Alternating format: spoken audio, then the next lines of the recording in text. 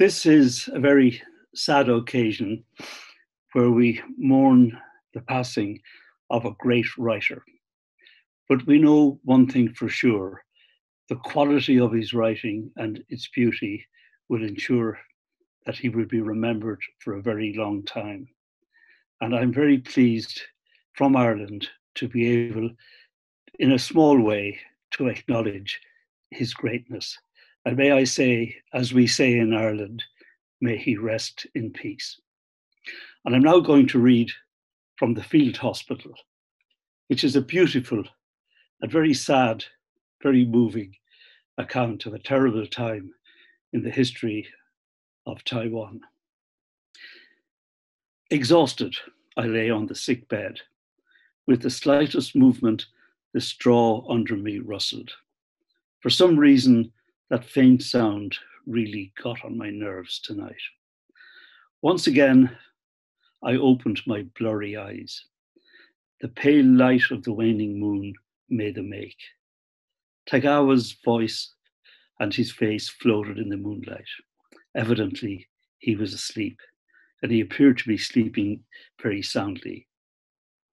Hey, Show, do you have this kind of superstition where you come from? That someone is sure to die when the tunnel is dug. Ha, I never heard that one before. You've had a good deal of education and you don't believe it. Ha, I never heard it before, so it doesn't matter if I believe it or not. If there really is such a thing, that's pretty interesting.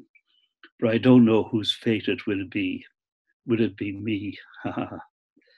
In the darkness, I could almost see Sergeant Shiono's big smile his white teeth and red lips amid his heavy beard.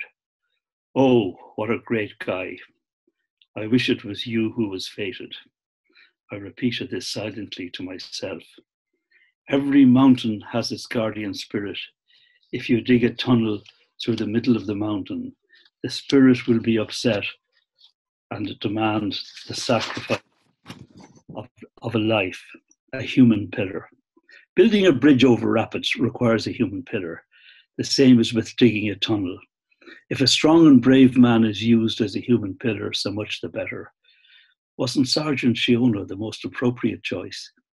He could certainly ensure that the tunnel never caved in. Corporal Tsukawa would be okay. Private First Class Ishide would be good too, and Captain Kato wouldn't be bad at all. No, the old guy was thin and tall and a bit hunched over he couldn't stand up straight enough to be a human pillar. No, the best was still the sergeant with the beard. If the guy died, then it could be said that the world was half at peace. At least so many sick friends wouldn't be beaten, beaten so severely every day. If he died, they'd leap up and cheer for him. But if the commander of the Invalid Labour Corps was changed, beatings would still be inevitable. It would be best if they all died. I wish there were such a mysterious power that would kill them all. I came back to reality in the end. Such naive ideas seemed strange even to me. Poor me. All I could do was pray for divine assistance in my daydreams, even amid these unlimited daydreams. I hadn't the courage to stand up and use my own strength to punish those detestable people and blow off steam. You're just a coward, a mean daydreamer, a buffoon between heaven and earth. Yes, you're an incurable coward, my thoughts soar again. You're even a laughable coward when it comes to women. They stare brazenly at nurses, but not you, even though you really want to look at them. You are captivated by the curve of the waist and the protruding breast. Some of them act, even Kato, the old guy, and Sergeant Shiono, but you, yes, you're angry, you gnash your teeth, and you feel sorry for the girls. Then doesn't the flame in your heart flare up and rage? Black Beauty Yumiko, Butterfly, Butterfly like Choco, and Hanako. No, I'm not dirty like them. I must be pure and clean like. Two swinging braids, two crystal clear eyes, skin suffused with apple red that look so serene, as if sinking in a deep lake. Aki. Having almost called out her name, I hurriedly looked left and right. Tagawa still slept soundly under the moonlight. I felt my face suddenly flushed. From the very first day she appeared, she impressed me as uncommon. I ought to say I was shaken. That is perhaps more accurate. That was about 10 days ago. In the morning, we patients, who were not seriously ill, arrived as usual at the foot of the mountain behind the field hospital. Work had been going on there for some time. For some unknown reason, the military had ordered that a tunnel be dug there. It was said that work was begun at both ends simultaneously. Those engaged in the work were all local residents. Each day, each household had to supply one person for the forced labour, which was euphemistically referred to as the performance of official duties. The men and the women from the village worked under the direction of the constabulary. Two thirds of the labourers were women, and most of the men were fairly old. I knew that the strong young men were volunteer soldiers or had been drafted, unless they were members of the youth corps far from home to perform their official duty. The men and women used various kinds of tools for digging. The men did the digging, and the women carried away the earth in baskets. Shortly after work began, we, six soldiers of the Invalid Labour Corps, were organised to take part in the work. That day, shortly after arriving at the site, I heard a high pitched, clear voice. Ah, Sergeant, good day, sir. Oh, Miss Akiko, good day. What was most surprising was the sudden change in the sergeant's voice. Normally, he seemed to shout every word and sentence, and his voice was harsh and grating like a gong but his voice at that moment was totally different. Are the sick soldiers supposed to work? Well, they can help out a little. Ah, that's not right. It's our work. So how can you let them help out? Oh, for a moment the sergeant seemed unable to hold his own. It's just for exercise. And besides, those up above hope to have it done early. Furthermore, it is to finish the sacred war. Really? Then it would be a good thing, Sergeant, if you have them carry less in their baskets. Of course. At that moment, I once again experienced that stirring in my heart. It was so complicated and subtle that I could scarcely come to terms with it. Her status was surprising. When I spoke to Shiono, I ought to say when I was asked about something, because I never spoke to him of my own accord. For when I spoke, I had to stand up straight, feet together at attention, while beginning every sentence with hi. But her, she was so at ease, without a care or a concern. Ah, she could adopt such an attitude with the sergeant, a sergeant, a terrible sergeant, who in the eyes of a private was unapproachably high, and put herself on the same footing. Without doubt, she understood the difficult position of us sick soldiers. It was inappropriate for a soldier who was out sick to undertake such heavy la- labour, but we still had to spare no effort in moving heavy baskets filled with earth. But that wasn't all, for some were mercilessly subjected to severe beatings. She spoke in such a tactful way, so composed, and in a tone of perfect assurance perhaps no one but her, while hundreds of millions were engaged in that great mission of the decisive battle, could achieve the lessening of the burden of some sick so- soldiers with such ease. Oh, she was so beautiful. No, I couldn't yet determine if she was beautiful or not. But her manner and the purity she exuded were touching. She, with her long, curvaceous, and pleasing form, in her Japanese style stovepipe pants and white blouse with short sleeves and open collar, was able to marvelously combine both weakness and power so strangely and so inconceivably. She and the sergeant must have known each other for some time and seemed to know each other quite well. He was extremely polite to her, indicated that they shared an unusual affection, I'm very reluctant to use such a romantic term, but still would rather imbue it with some more implications, such as ambition, desire, and evil. The tone of his voice changed. The wrinkles that had accumulated on his face over the years grew smooth, but I could still sense the fierce covetousness in his heart. These intuitions came to me almost all at once. They existed together, jumbled in my mind, right up until this moment when I lay down in bed, and I still felt I couldn't fully grasp them, for they're being clear one minute and confused the next. Well, I didn't want to think about it anymore. I needed to get some shut eye soon because I had to get up and work tomorrow. Today, on the way to work, Sergeant Shiono carried a large mirror out of the clinic and had Tagawa, who brought up the rear, carry it. The sergeant didn't keep everyone in suspense for very long. He revealed the answer to the riddle as soon as he came out the door. Hey, do you guys know what this mirror is for? This is our captain's masterstroke. He wants us to use the mirror to shine the sunlight into the tunnel. He said we could save on the acetylene and have a little more light. Ha, our captain has a good head on his shoulders. Ha ha ha. It was that heroic laughter again. That was the adjective the sergeant had used to describe his own laughter. The sergeant's tone of voice seemed to harbour a certain disdain for the captain. But I felt that old Kato wasn't all that stupid. The work began.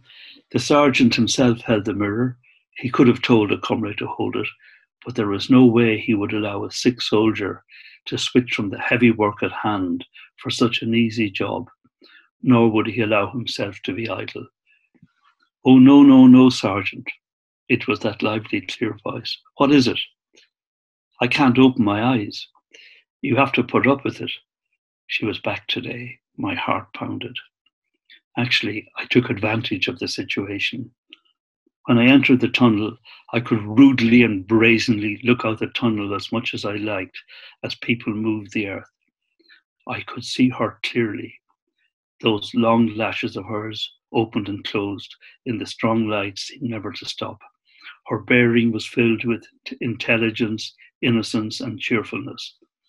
Her nose and lips were suffused with a smile and determination.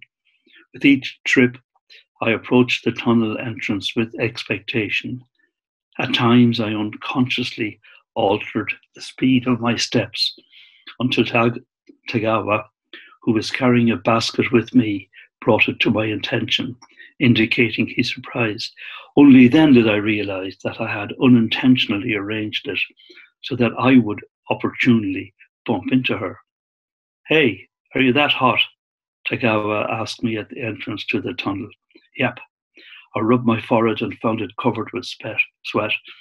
I was hoping that when we brushed past one another, she'd see my face in the light of the mirror and remember me, retaining a deep impression of me. Perhaps it was this hope that unconsciously made me nervous, causing me to break out in sweat. But oh, what a vague and ridiculous idea. Oh, are you guys carrying so much? Really? It was her. In the blinding light of the mirror, I saw her hasten her steps towards us. Give us half.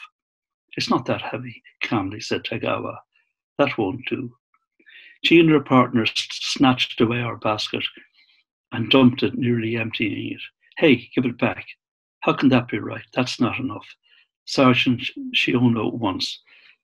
Don't worry, we'll go together and I'd talk to him. After that, we went back and forth with them following us. I didn't know if I should be happy or sad. It was hard to get a clear view of her, which made me sad. However, being able to walk with her actually made me feel elated. The only thing was, I couldn't think of anything to say to her. I just listened anxiously as she conversed with Tagawa. That afternoon, I didn't feel right. My arms and legs were exhausted. My chest ached. If I said something to Sergeant Shiono, he probably would have let me rest, but that might have given the impression that I was lazy. The imperial soldier had fortitude and endurance, which was Sergeant Shiono's pet phrase. Moreover, I felt that perhaps my condition was the result of nerves.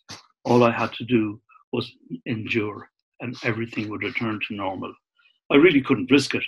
And so I continued working as usual. I should add that perhaps I was willing to suffer if I wanted to be in a place to see her.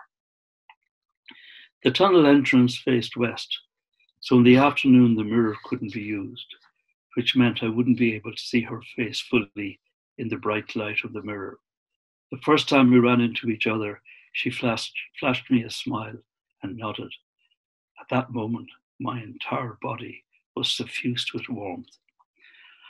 And it was Tagawa who first opened his mouth to address her. Although they spoke only the usual social niceties, it was sufficient to make me jealous.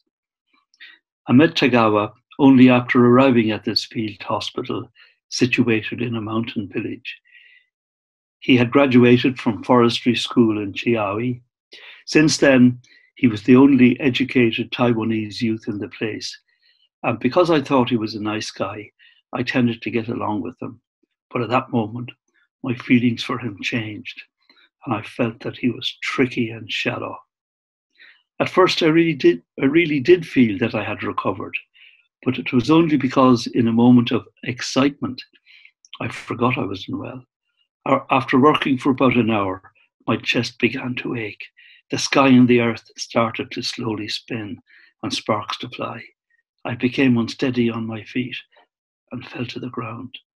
What's the matter? Tagawa held me up and shook me vigorously. I'm a little.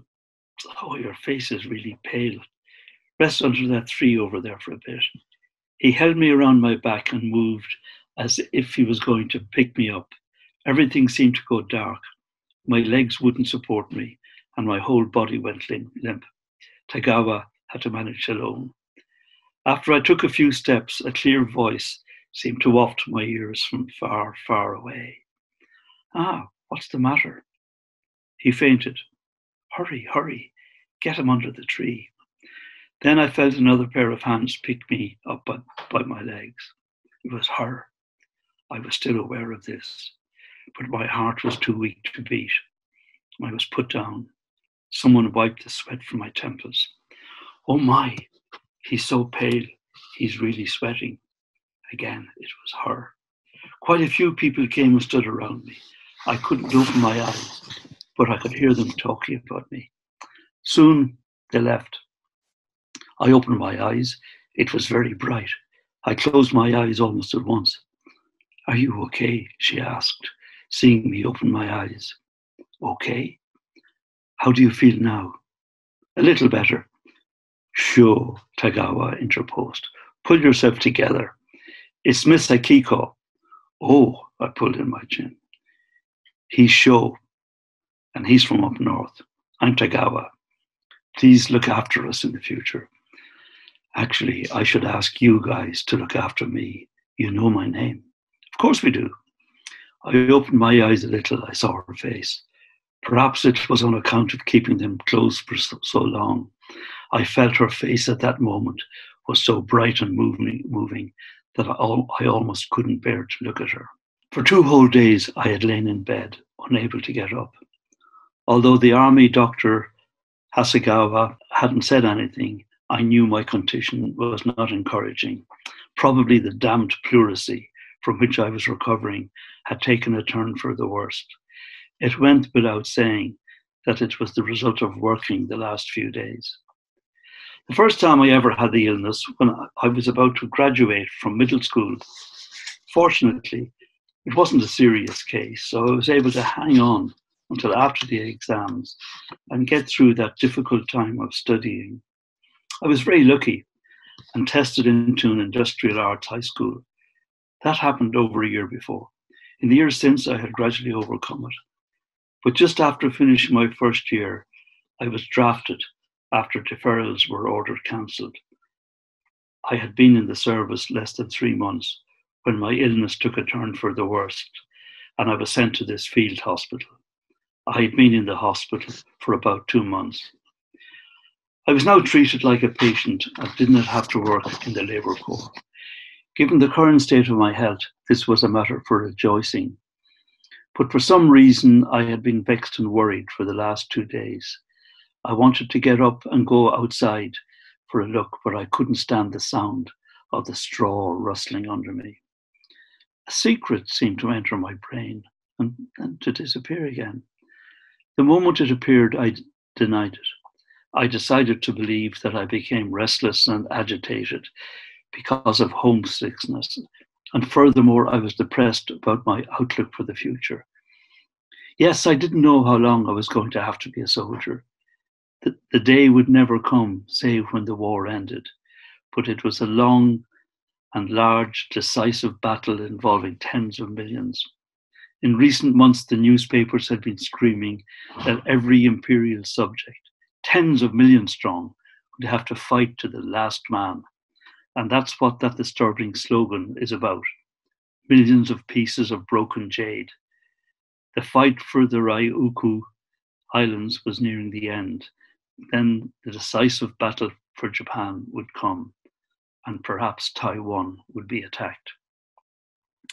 After playing hide and seek several times with that idea, I finally had to admit that it was the cause of my unease. Before that, the seriousness of the battle situation, the violent air raids, 10 million pieces of broken jade, and the like were of no concern to me. Oh, I was missing her. Akiko. I was looking forward to seeing her figure and hearing her voice. Every time Tagawa returned, I wanted to ask about her, but I couldn't bring myself to open my mouth. All I could do was mention the hard work and ask about the prog- progress of the project, as if there was any news. In that frame of mind, another day was lost. Tagawa and the others came back in the evening. Hey, Tagawa walked towards me, ramrod straight, practically shouting at me. It was really dangerous this afternoon, and I nearly lost my life. Oh, what happened? I was nearly crushed under a boulder about this big. Gesturing with his hands, he said, It fell just a meter in front of me. If I had been a step faster, I would have been a goner. Aya, uh, was anyone hurt? No, but I was really scared. Exhausted, Tagawa collapsed on his bed and bent over to undo his leggings. Hey, he suddenly looked up. She showed up again this afternoon. His voice no longer sounded tired. Who? I replied without hesitation, though I knew at once to whom he was referring. Akiko! He pressed close and whispered, oh, She didn't show up yesterday. No, she said her sister in law was here yesterday and this morning, so she was busy. I really wanted to know something about her, but I persisted in pretending I was uninterested. I also figured that perhaps Tagawa also liked her. But who wouldn't like her? Tagawa was clearly much closer to her than I was, and if there was a competition, he was way out in front. Suddenly it seemed to grow dark around me. You don't look so good. I, weakly, I closed my eyes. She asked after you. Huh. I sensed the light in front of me. She said she'd like to come and see you, haha. It was awful. The blood rushed uncontrollably to my face. Two or three more days went by. Thankfully, my illness didn't grow any worse, and I felt I had already recovered to the point I was at before the last flare up. The army doctor permitted me to get up and walk around the sick room, inside and outside. Only then did it hit me that since that day, he was always the first to mention her when we got back from work. And thinking about it now, it seemed he was always examining my face. The guy was really clever and tricky.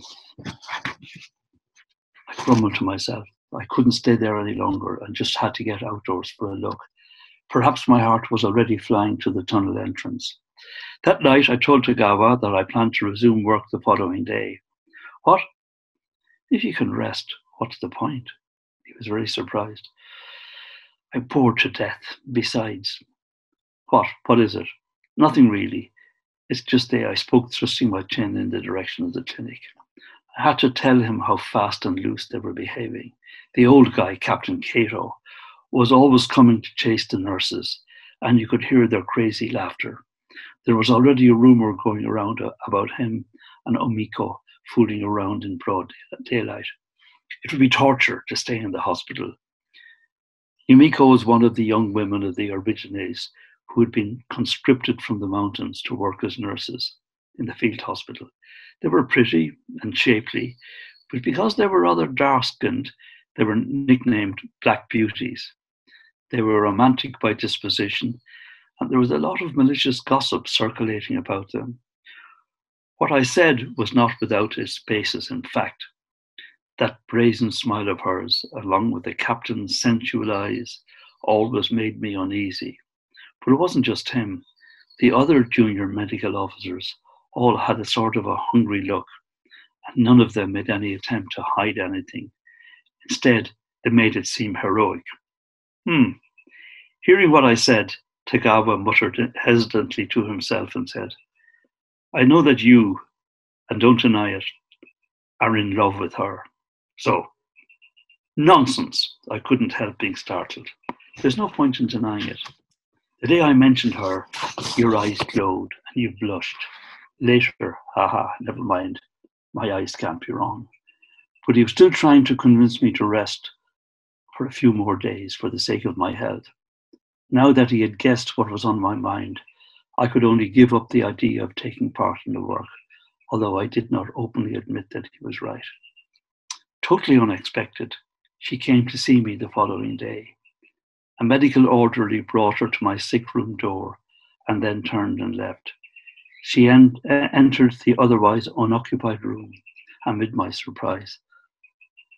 Ah, I didn't know what to do and tried to raise myself in bed. Lie down. There's no need to get up, she gently commanded me. Are you feeling a little better? Thanks to you, a good deal better. Suddenly I felt I had to make a great effort to talk. Ah, your colour is better. I brought this from home. She opened the bundle in her hands and removed two bunches of lychees. The fruit was bright red, the leaves dark green. Oh, how nice. Thank you, Miss Shuketsu. Huh. How do you know my name? Tagawa told me. I wanted to tell her how much I liked her name. It was much better than Akiko, but I said nothing. Tagawa, how would he know? That's very strange. What about him? What did his name used to be? His surname is Chin, but I don't know his given name for certain. Why didn't you change your name? No reason. You didn't change yours either. My dad forbade it. Besides, it doesn't make any difference anymore. Nobody outside calls me Shuketsu anymore. I think I called call you Shuketsu. Just to see. Okay. Why? I don't know. She laughed and I couldn't help but smile. She wanted to know where I was from. I told her it was pretty much like here, a small village at the foot of a mountain. There were mountains and rivers, a very tranquil place. Then we couldn't find anything else to talk about. Just as she was about to leave, she too tried to convince me not to go back to work too soon and to take care of myself. She also indicated that she would come back and see me when she had time. I got up and I saw her to the door. I watched her depart from behind, my heart so agitated that it was a long time before I could calm down again. Two days later, and I was still thinking about what happened, going over her each and every word and recalling her smile. Sometimes I had the feeling that I was in the lead in this race and would suddenly grow excited. Other times I felt just the opposite, that while I was being stupid, Tagawa was advancing and even passing me. I was looking forward to her swift reappearance. I would be a little braver then and a little more composed using what little knowledge I had gained from reading about dealing with women, I imagined how things would be when she arrived. I waited in vain for two more days and couldn't bear it any longer. I decided I'd go back to work the very next day. This was all on account of my long, longing to see her, but also because the work was nearing completion.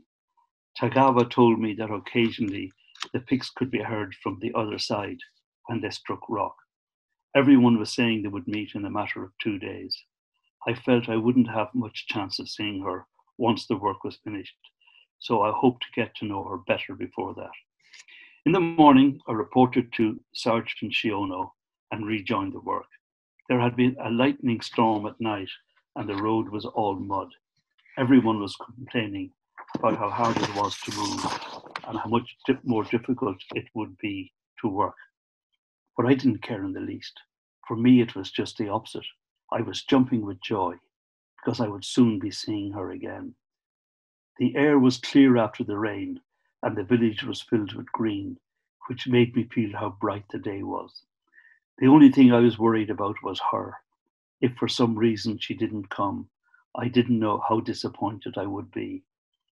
When we arrived, we found the civilians were already there performing their official duties. I saw her at once among the others. She also spotted me at once among our group, generously shooting that touching smile of hers at me.